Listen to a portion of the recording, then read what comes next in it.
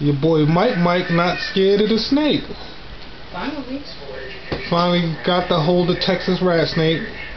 He a little fidgety, but he'll be alright. He'll get used to it. He's non-aggressive. He was when I first got him, but it just took me a couple of times to hold on to him. Go ahead, let Tyker hold him. See if Tyker's scared. I don't think Tyker ever held him like that. and That's Tyker Snake. you don't even know how to hold him. Put him around there. You got Tyker, you don't know what you're doing, man? No, I do not. I've never heard of snake before. I heard Jesus Christ. What the fuck?